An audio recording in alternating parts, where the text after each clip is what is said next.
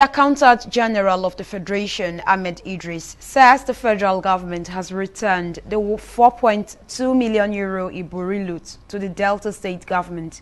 The AGF disclosed this on Tuesday when he appeared before the House of Representatives Ad hoc Committee on Assets Recovery.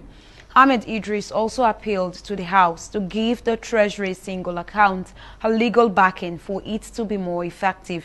There is nothing either in the title as, uh, I mean, indicating a previous correspondence from the Office of the Attorney General, neither is there anything in the opening paragraph making reference to a letter from the Office of the Attorney General. Mr. Chairman, I humbly request that if there is a, I mean, uh, originating correspondence from our office, it should be made available to me. The Minister of Justice and Attorney General of the Federation, Abubakar Malami, who also appeared before the Committee on Illegal Spending of 30 billion naira recovered funds, denying the allegations. We open the accounts, we maintain the accounts, we are custodians, and we rely on authority of the presidency through the Honorable Minister of Finance to make disbursements out of such accounts. With the emergence of TSA, Honorable Committee, the consolidated revenue account is now one.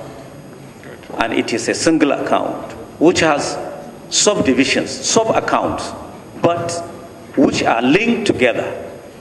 Linked together operationally, and we can see for the purpose of consolidation, aside of the individual balances in the account, what is there, you know, as an overall balance, reflecting the consolidated revenue, account, uh, revenue account. The ad hoc committee was mandated by the House to investigate the status of all recovered loots, movable and immovable assets from 2002 to 2020.